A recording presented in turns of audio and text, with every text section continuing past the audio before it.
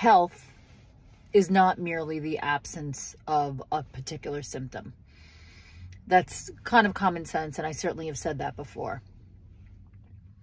Physical health, physical health is not merely your um, attention to fixing what hurts. And true health, holistic health, holistic meaning your entire system requires more than just fixing your physical body. I want to give you a personal example. I have been trying to get off blood pressure pills by simply stop taking them. I've, I've tried with diet and exercise, um, but I have not really done the work to get the support and, and to do it the right way. Uh, and I am going to actively do that now.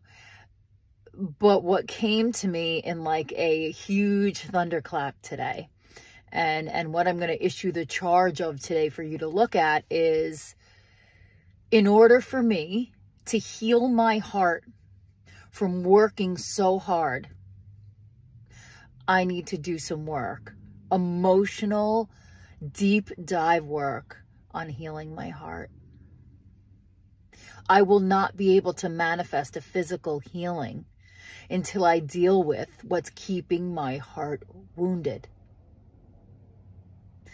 So there's so many examples in this. The example of the work never ends. There's the example of health only exists if all of the systems that, that you are made of are healthy. And our humanity is that we are always growing and hopefully expanding because if you're you're either regenerating or you're degenerating and no matter how hard I work out my heart is in a state of degeneration why is it in a state of degeneration? So I'm going to put the physical to the side because that is one aspect. I need to supplement properly. I need to find out what the cause is. I, so yeah, there's there's obviously some work, some um, work to do there that I need a practitioner's help for. But to supplement that and to make that work, it will not work with doing all the supplementation and following every direction that I am given it will not work if I don't decide to heal my heart. And I don't just mean make sure it stops pounding so hard. I mean, do the work that it takes to get my heart open to the next level. I think it has to do with control. I think it has to do with trust.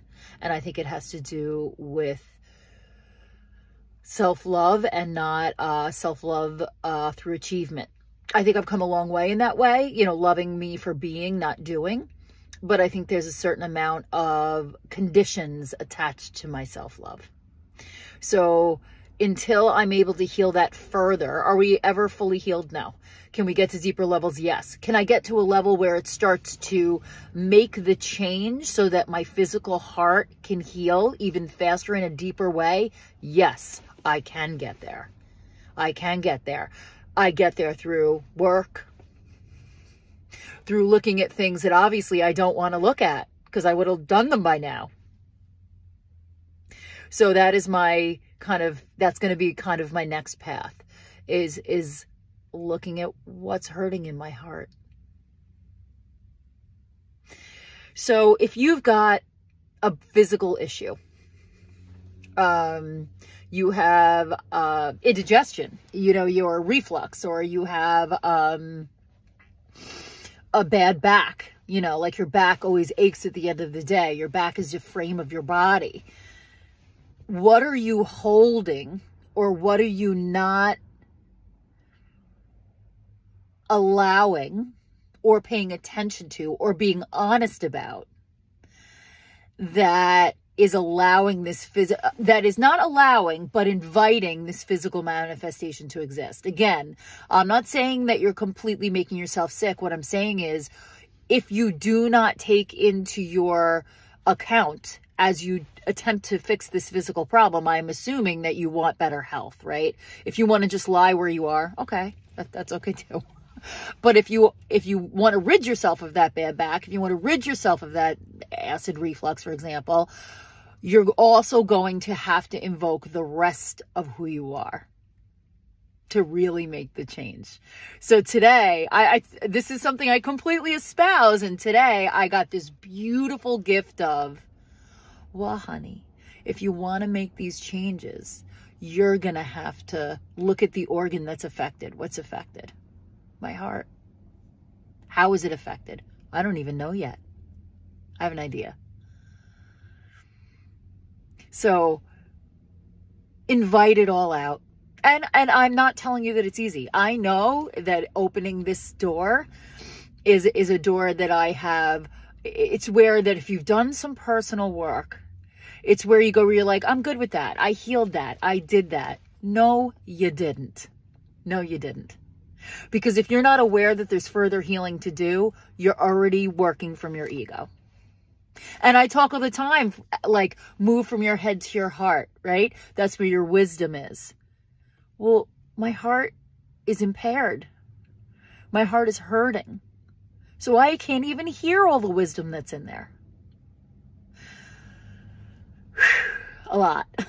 It's a lot. It's it's beautiful, it's terrifying, and I invite you to the party. And if you're in the party, if you're alongside me, I so honor it. I honor it because most won't even entertain the struggle. They'll take an Advil. They'll, you know, they'll, they'll suppress. Um, they'll just not think about what's hurting. To really heal, not all, but I will offer you this too. To really heal is a real effort. It is a lifelong effort, but it also brings you incredible freedom and gifts and it is worth every trip to the pit, every effort that you take. It is worth it. And I will see you tomorrow.